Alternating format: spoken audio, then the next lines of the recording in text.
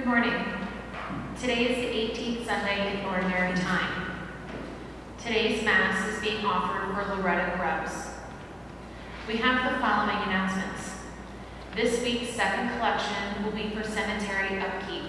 Check the bulletin for the Mission Co-op collection information. Rest in peace to Richard Underwood, who passed away this week. After Wednesday morning Mass, we will have coffee on the rectory porch with James. First Friday Mass will be offered this Friday at 8 a.m., followed by exposition of the Blessed Sacrament on the rectory porch from 8.30 a.m. until noon. Mass on Tuesday will be at 6 p.m. Mass to honor the Immaculate Heart of Mary will be this Saturday at 8 a.m. Please join me in saying the prayer to St. Michael. Saint Michael the Archangel, defend us in battle. Be our protection against the wickedness and snares of the devil.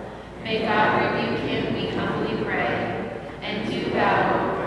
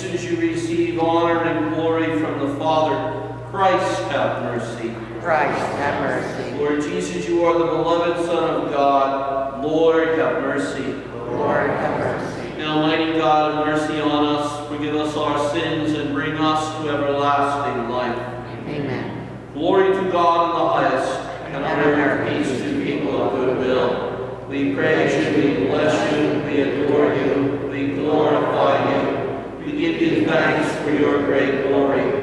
Lord God, heavenly King, O God Almighty Father, Lord Jesus Christ, only begotten Son, Lord God, Lamb of God, Son of the Father, you take away the sins of the world, have mercy on us. You take away the sins of the world, receive our prayer. You are seated at the right hand of the Father, have mercy on us. For you alone are the Holy One, you alone are the Lord, you alone are the Most High, Jesus Christ, with the Holy Spirit, in the glory of God the Father. Amen. Let us pray.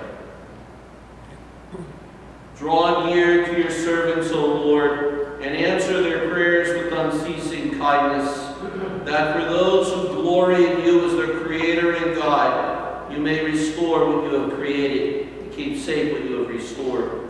Through our Lord Jesus Christ, your Son, who lives and reigns with you in the unity of the Holy Spirit, one God forever and ever. Amen.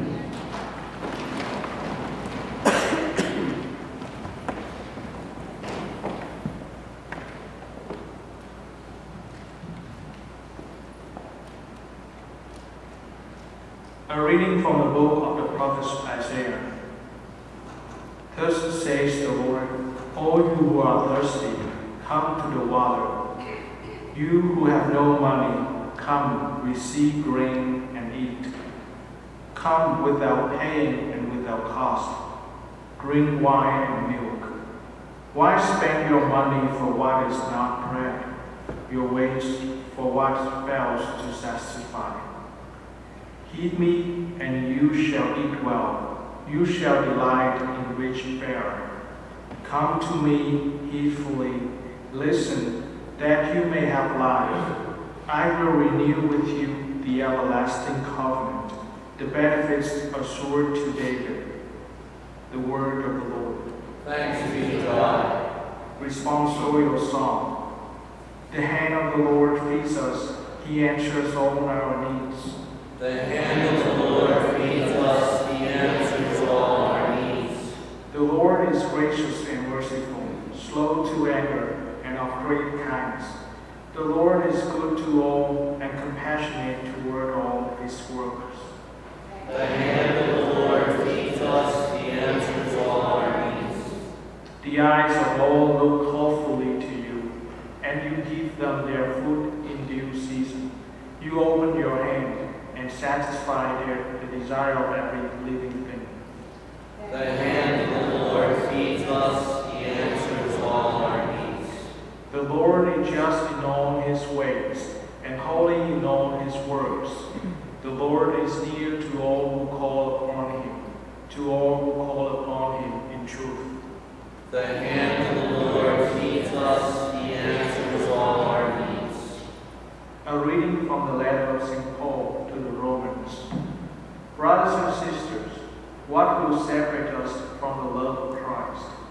Will anguish or distress or persecution or famine or nakedness or peril or the sword? No, in all these things we comfort overwhelmingly through Him who loves us. For I am convinced that neither death nor life, nor angels, nor principalities, nor present things, no future things, no powers, no height, no depth, nor any other creatures will be able to separate us from the love of God in Christ Jesus our Lord. The word of the Lord. Thanks be to God.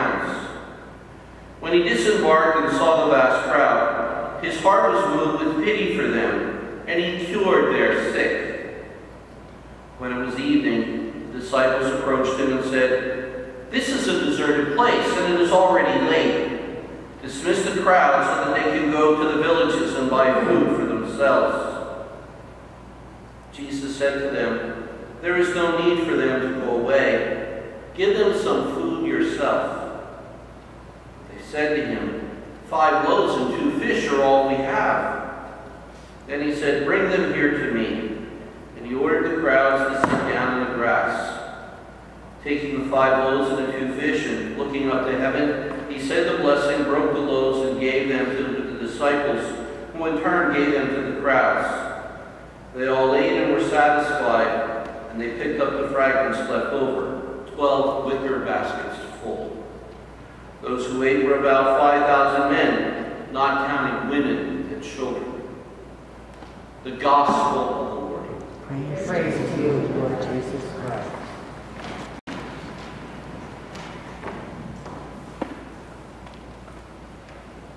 About 20 years ago, in my first pastorate, I saw the need to form a marriage prep team from among the parishioners. And in choosing these couples, I chose couples basically for their affability, but most especially the way that I witnessed their faith when they would come. They ranged from five years married to one couple that was married for 45 years. And it really worked out beautifully in our preparing young couples from the parish for marriage. And I must say they all became friends of mine and of each other. And we would get together a number of times throughout the year just to socialize with each other. About 10 years ago, maybe 12, shortly after I first got here, one of the couples, the wife had always had stomach troubles with her intestines, diverticulitis, that kind of stuff. But she was having some very serious problems. They were fearful of a bowel obstruction and the way that was explained to me, it was almost like the inside of her, her intestines would collapse and it get sticky and they would all fall down. And so she was preparing for a restructuring of, of, of the bowel. I knew it was a Saturday, I knew the approximate time that allegedly she was going into surgery, and so I called the husband up and I went and said, you know, where are you in the hospital? Which waiting room? I said, I'll come and I'll sit with you for a little bit before 4 o'clock Mass. Because I really was close to these people. He said, well, she didn't go in for surgery yet. I said, okay, I'll be right over. We went in, and the husband sat on one side of the bed, I sat on the other. We held her hand. We talked, we tried to joke. I gave her the sacrament of the sick, and we prayed. The nurse kept coming in, and she kept saying, doctor called, he's delayed, he's delayed, he's delayed, he's delayed, be patient, he's delayed. And finally, I said, I gotta go. I said, I'll call you after I get done Mass and see how things went.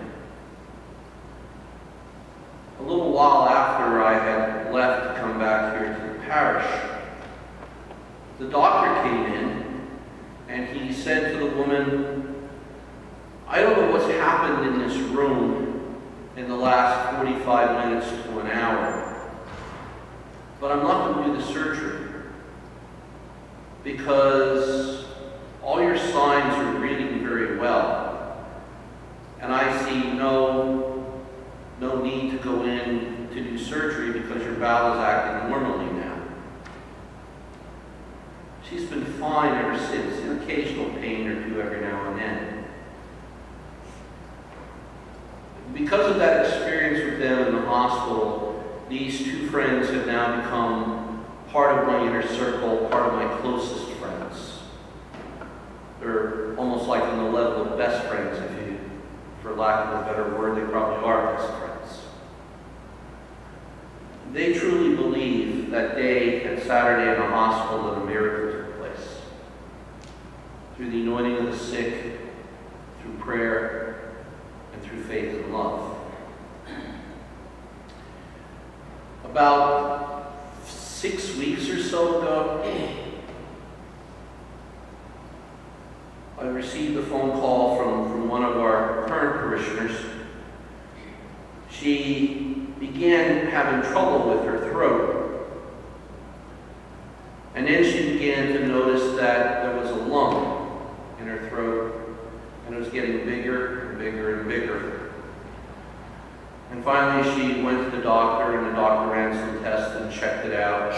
And he explained to her that sometimes women of her age have problems with an overactive thyroid, and they really should be removed. And, you know, he also went and gave her the lowdown and everything, that there could be the possibility that once they removed it and doing the biopsy, that it could be malignant because many of these overactive thyroids do have a tendency to be cancerous. She brought it to my attention and went and asked if she could receive the sacrament of the sick. And so, three, four weeks ago, maybe, I went and I gave her the sacrament of the sick, and we prayed. And once again, a woman of very strong faith and love. And just the other day, she told me that she can't find the lump in her throat anymore. And she went to see the doctor, and the doctor is just mystified by it, and he says, well, I don't see any reason for surgery. And they're going to do some more tests this week to find out if it's, if it's totally gone.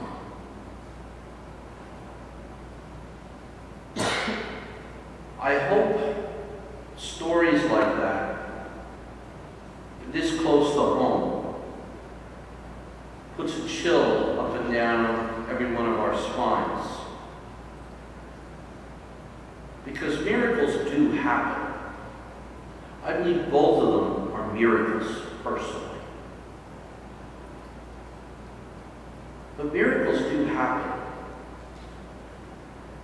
But you know, we become rather cynical. We have to prove everything, and we have to discredit everything. Miracles happen to us each and every day. Certainly, they might not be as momentous as a bowel obstruction that miraculously cleans itself up before surgery, or an overactive thyroid gland that just seems to disappear.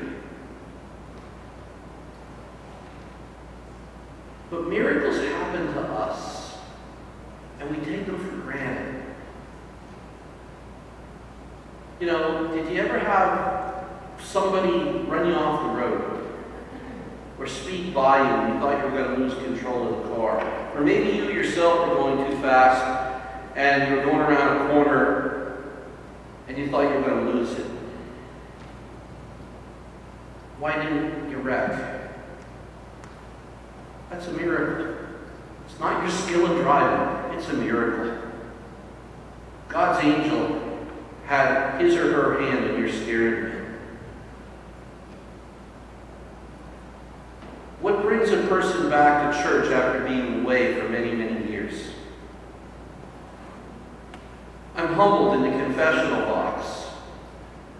When someone comes in and they tells me they're not quite sure how to go to confession, and after joking with them a little bit and telling them not to worry, I'll help them, they come out with, but Father, you don't understand. It's been 40 or 45 years since I was here last. That's a miracle. For whatever reason, God brought them back to church. I truly believe that a miracle happened to me in the life of my own parents. You've heard the homilies of my mother with her lung cancer. You heard me tell you that my mother prayed for healing to find peace with what was going on. And it was given her. My father, on the other hand, was praying for a cure for his Joni, and he was very frustrated when she passed. But my mom passed away very much in peace because she prayed to God for a healing and to help her and to guide her. I consider this parish of St. Clare of Assisi to be so very important to me. I consider it important because, you know, My mom died in 2006. My dad died in 2010. But I came here in 2008. And up until father and I were never close. I could never, ever do anything right for my dad. I could never please him. I could never make him proud of him, proud of me. And you know, if I heard one more time, how could you be so damn dumb? But when I came here, not just the blessing of all of you, but I got close to my dad. And the most moving experience in my life was him being able to tell me right before he died that he loved me and he was proud of me.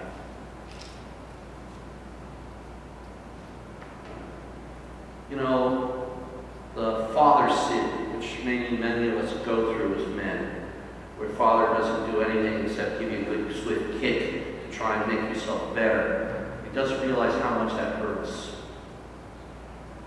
That was all washed away.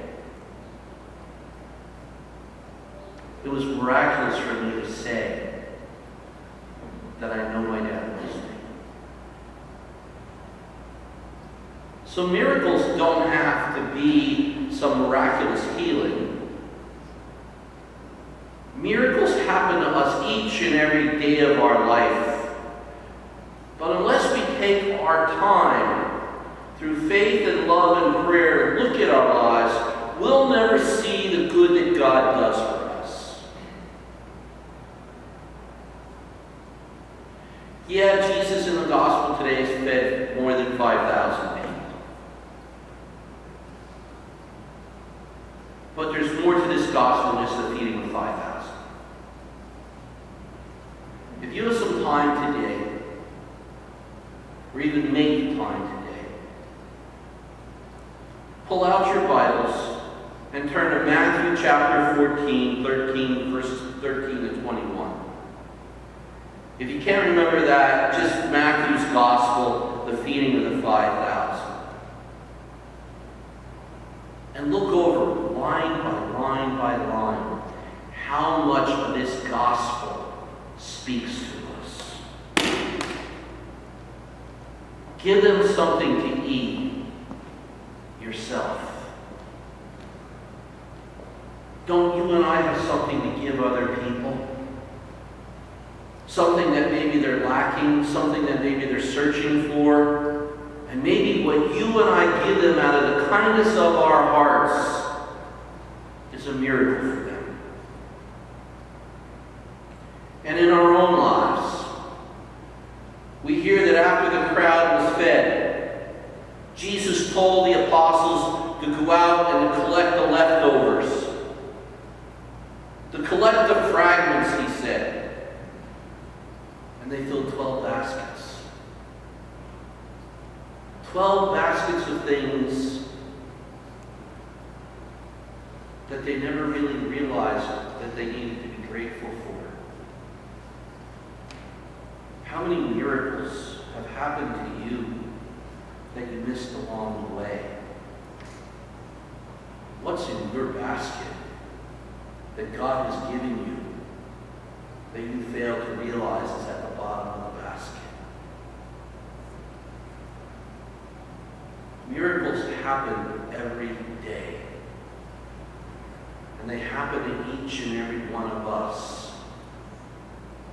But we need to take the time to reflect on the healing that we need, on the time that we need to talk to God from the depths of our hearts, and to approach life with faith,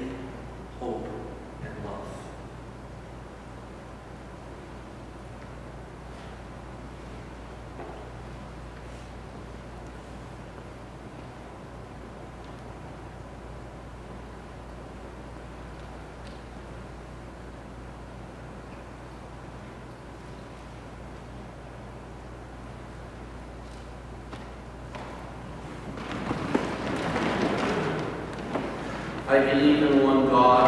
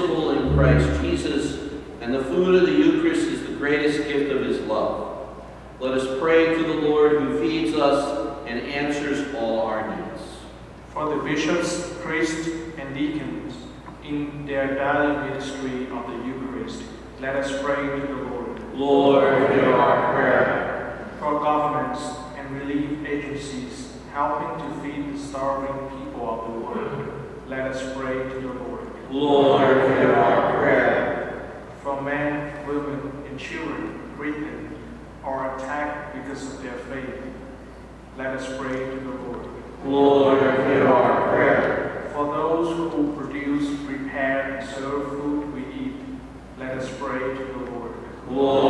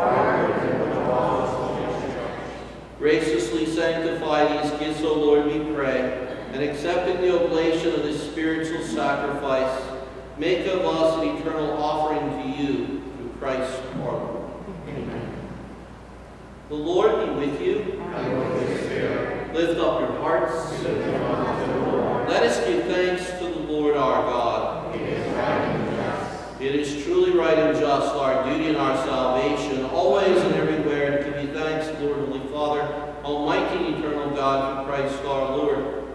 For out of compassion for the waywardness that is ours, he humbled himself and was born of the Virgin. By the passion of the cross, he freed us from unending death, and by rising from the dead, he gave us life eternal. And so with angels and archangels, with thrones and dominions, and with all the hosts and the powers of heaven, we sing the hymn of your glory as without end we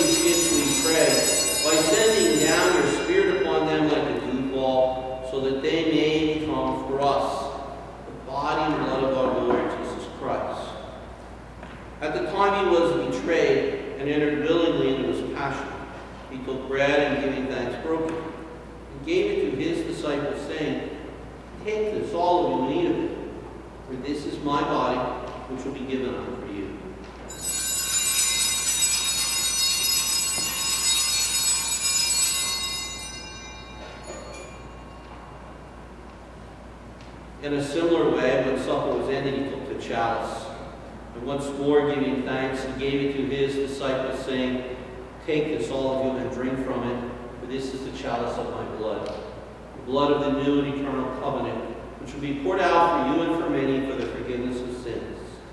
Do this in memory of me.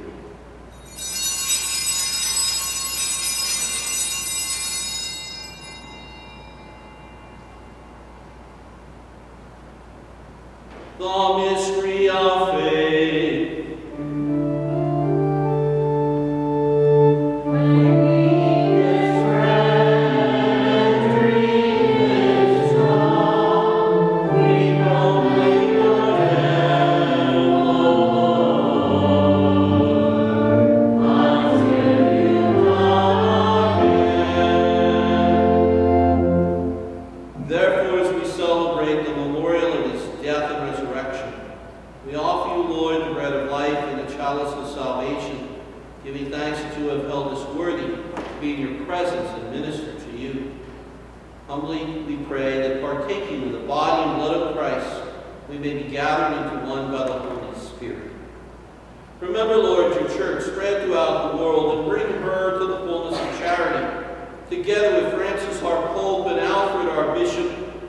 people of God.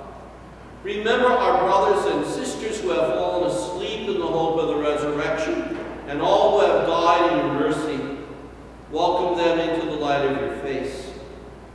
Have mercy on us all, we pray, that with the Blessed Virgin Mary, Mother of God, bless Joseph, her chaste spouse, with the blessed apostles, with St. Clare of Assisi, and with all the saints who have pleased you throughout the ages, we may merit to be co-heirs of eternal life, and may praise and glorify you through your Son, Jesus Christ. Through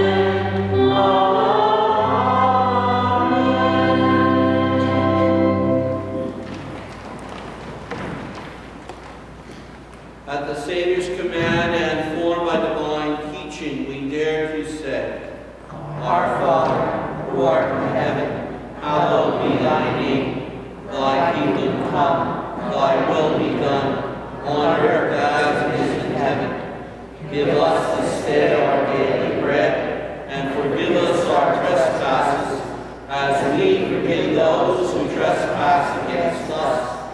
And lead us not into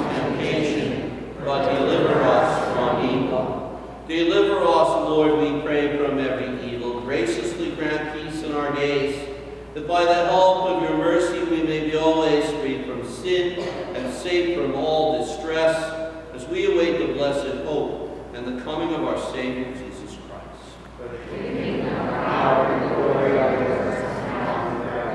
Lord Jesus Christ, who said to your apostles, Peace I leave you, my peace I give you, look not on our sins but on the faith of your church, and graciously grant her peace and unity in accordance with your will, who live and reign for and ever. Amen. The peace of the Lord be with you always. And with your spirit. Let's offer each other a sign of